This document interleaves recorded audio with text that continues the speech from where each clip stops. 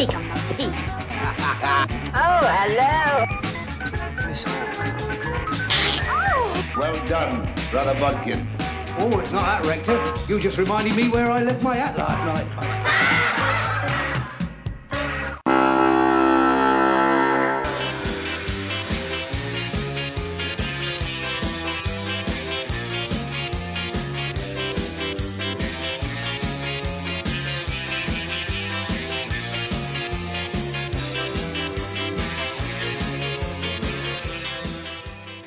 And then along came um, uh, Carry On Cruising, and I got a part as a barman uh, for £35 a week, I think. I don't no, it doesn't matter. Uh, I got a part as a barman, which I was very grateful for.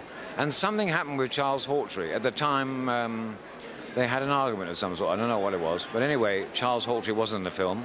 So they upgraded me suddenly from barman to chef. Excuse, excuse me, excuse me. I wonder if you could direct me to the kitchen.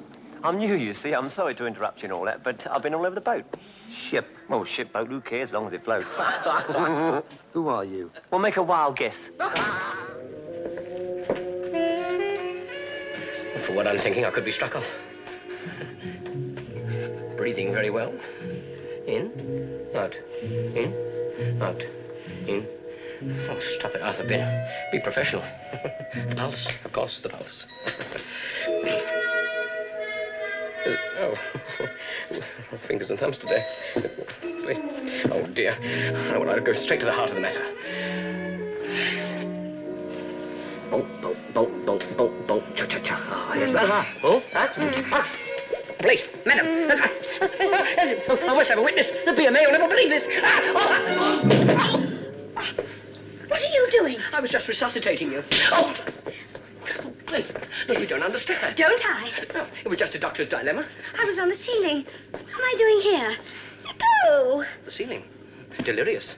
Well, get back on the ceiling if you want to. There's a nice ceiling. A special ceiling you can lie down on. He's bunkers. Yes.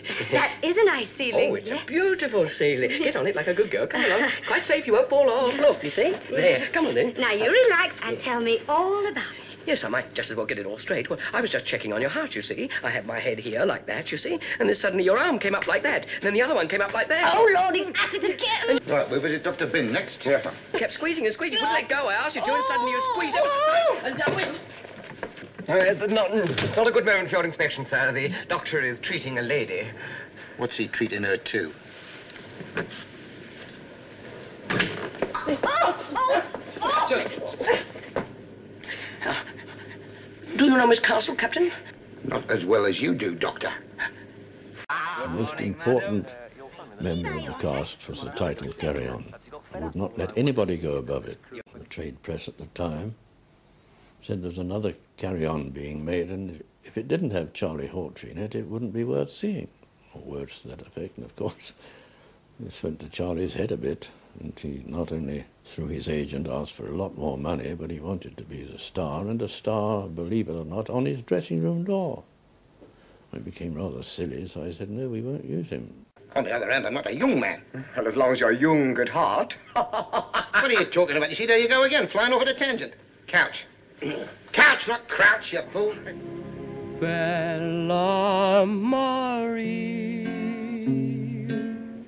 Bella Marie, Bella Marie, please come to me. How can words explain to you the love You're the sun, the wind, the rain, the reason I must live only for you. Oh, please love me too. Oh, Bella Flo. Oh, Bella Flo.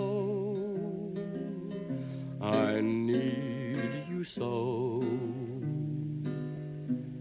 Please let's have a I love you so. Oh, Bella Flo. My Bella Flo. I love you so. Please don't say no. Say no. Please don't say no.